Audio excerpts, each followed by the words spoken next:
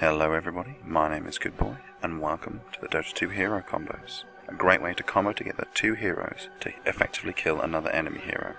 In this case, it's Jakiro and Sven. So Sven has learnt Stormhammer, and Jakiro has learnt Ice Path and Dual Breath. Sven will initiate using Stormhammer. In this case, the target will be Riki.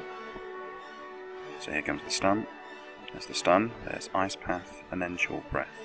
This with attrition damage should do enough to kill the enemy hero. A bit more attrition, he dies. Excellent work, good kill. So in this case, Lone Druid's the target. There's the stun, stuns him and the bear, there's Ice Path, and they don't even need dual breath for this one, he'll just die with attrition.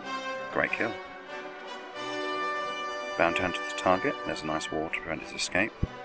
There's Stormhammer, Ice Path, Dual Breath, with a bit more attrition damage, just tries to get away.